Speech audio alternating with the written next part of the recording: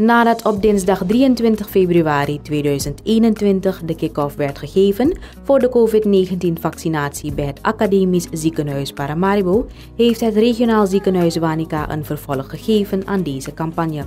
Gezondheidswerkers hebben zich samen met First Lady Melissa Santuki Sinacheri op woensdag 24 februari 2021 laten vaccineren.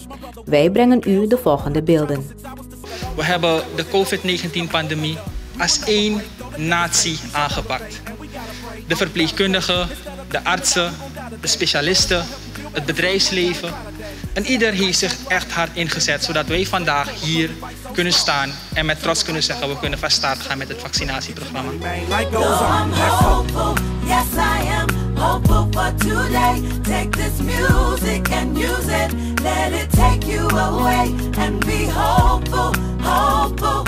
Laat me eerst zeggen, ik leef nog.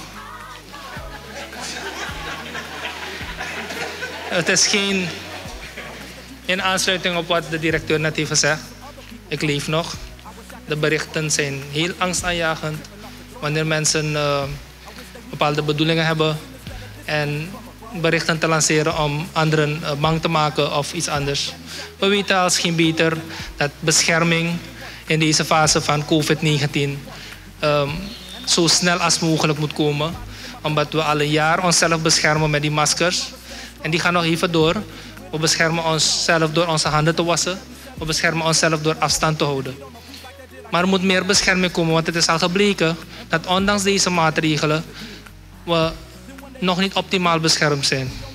En vanuit de medische wetenschap is het heel duidelijk dat die bescherming alleen kan komen door je immuniteit een boost te geven en te prikkelen, je immuunsysteem te prikkelen, om zelf nu de bescherming in het lichaam op te bouwen. En als heel veel mensen in de wereld dat gelijktijdig doen, dan heeft het virus eigenlijk steeds minder ruimte om te bewegen.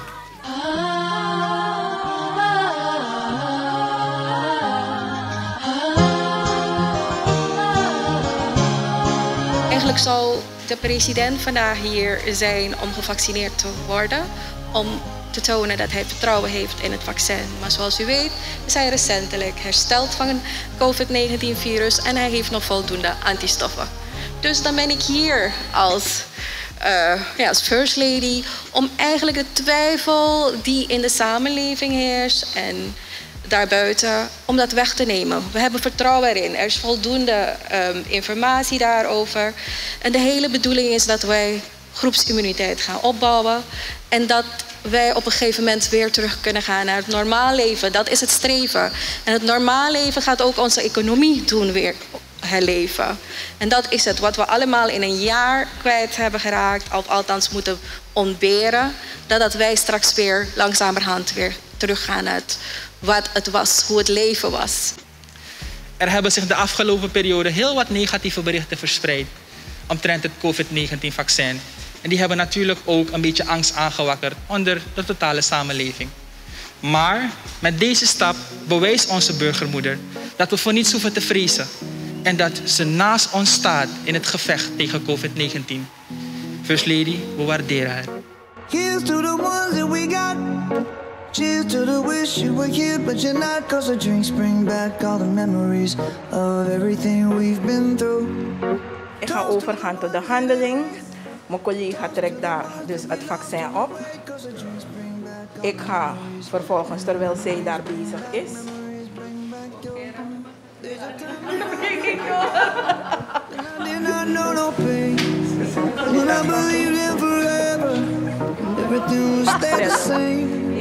Now my heart feel like December.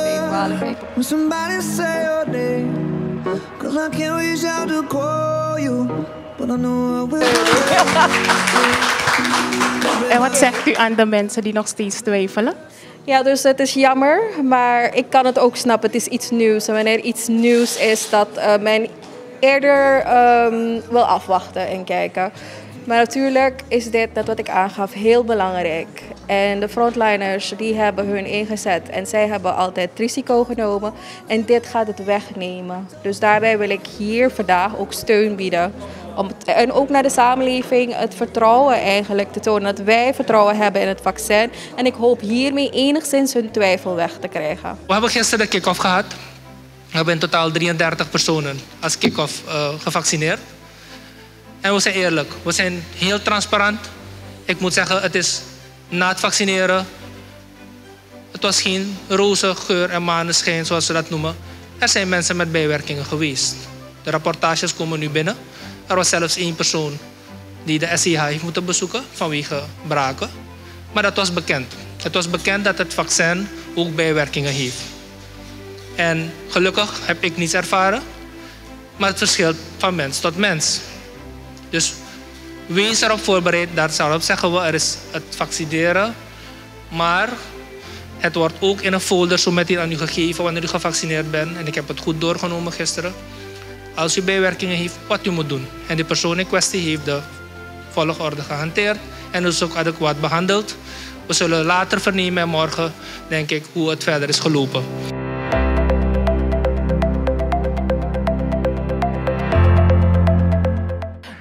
Harkisoen. Um, bij het inenten van de patiënten um, is opgevallen dat de verpleegkundige geen handschoenen um, aan heeft. En het, zie dat, het is ook duidelijk dat de vingers heel dicht bij de naald is. Is dat normaal? Nou kijk, in principe is het belangrijk bij vaccinaties dat alleen de mond-neusmasker is het meest belangrijke, dat er wel uh, op moet zijn. Maar verder is het eigenlijk zoals alle andere vaccinaties die je kan nemen. Dus in principe als je tenminste, hè, uh, je hoeft niet altijd gelijk met handschoenen aan te vaccineren. Het maakt het soms ook wat lastiger. Hè. Met je vinger kan je soms iets beter uh, positioneren. En dat is de reden waarom ze eigenlijk geen handschoenen hoeven te gebruiken. Hè. Dat is ook iets wat de algemene aanbevelingen ook zijn. Dus in principe het allerbelangrijkste is een mond-neusmasker. Maar verder um, kan je dus zonder handschoenen vaccineren. Zoals al eerder al een keer bij onze speeches is gezegd, er zijn al meer dan 200 miljoen mensen over de hele wereld die gevaccineerd zijn. Um, als het niet zo, um, uh, als het te veel bijwerkingen zou hebben of schadelijk uh, zou zijn direct, dan zou je dat ergens wel hebben uh, gekregen als een, als een documentatie of als een bericht. Um, tot nu toe blijft dat uit. Mickey Wulbuku en Lobby Macandra. Dus dat is uh, eigenlijk de boodschap. Een kleinigheid voor u alstublieft. Ja.